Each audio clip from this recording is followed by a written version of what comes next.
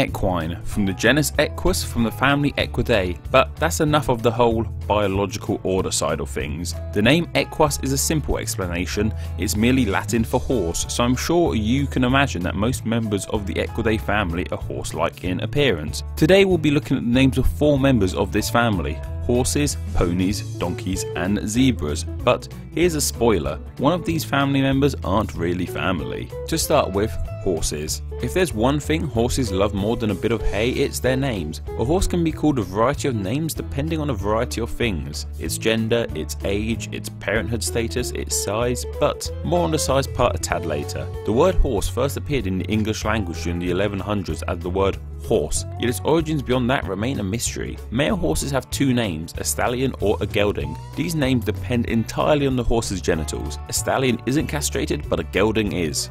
Poor guy. Female horses are referred to as mares once they are older than 3 years old. So what's a female horse called before it reaches this age? The name for all young horses is a foal, yet each gender of foal have a specific name also. A colt for a baby boy and a filly for a baby girl. Speaking of children, both male and female horses gain additional names when they become parents. A horse's father is known as their sire and their mother becomes known as their dam. Moving on to my favourite member of the Equidae family, the donkeys. The key word in the origin of the name donkey donkey is dun. Dun is a brownish grey colour, a colour a lot of donkeys are. The name Duncan, which means brown warrior, also has origins in the colour dun too, and so does dung, probably, now that I think about it. Like with horses, donkey name origins are unclear, but it is thought the key suffix was added to make it rhyme with monkey. Hmm, monkey and donkey.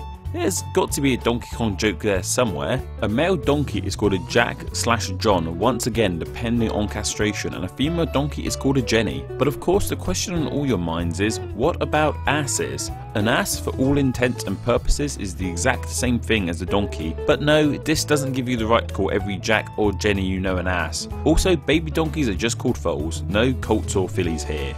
Zebra's name origin is thought to lie with Equiferus, which is Latin for wild horse, equi referring to horse and ferus referring to wild slash untamed. Zebras still live to this name as they have never been truly domesticated. Zebra names however are the exact same as horse names, females are called mares and males are called stallions. Geldings are not as common in zebras however as zebras are wild animals and no one should be getting that near a wild animal's junk. Babies are called foals and more specifically colt or filly depending on their sex. That would be as done if we didn't have to delve into the world of hybrids. Mules are probably the most known of these hybrids, and a lot of people seem to think mules and donkeys are the same thing, but a mule is what you get when you breed a male donkey, a jack, with a female horse, a mare. A female mule is called a Molly and a male mule is called a John, which matches with male castrated donkeys as neither can reproduce. So what happens when you swap the genders around and breed a male horse, a stallion, with a female donkey, a Jenny? Well, in this scenario you get a hybrid called a Hinny. Then we get the many ridiculous zebra hybrid names. A male zebra and female horse hybrid is a Zorse, and it only gets better from there. Do I need to explain these? This leaves us with our final equine, the ponies. The name pony comes from the French word pollinette, which means a young, immature horse.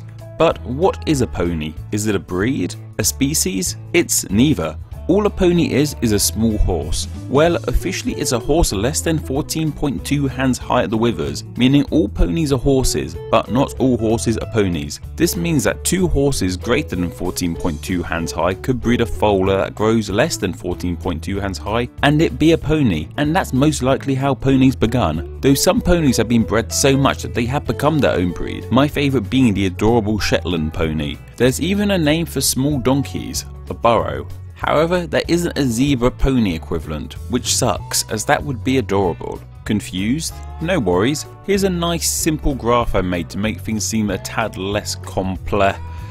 Oh, never mind.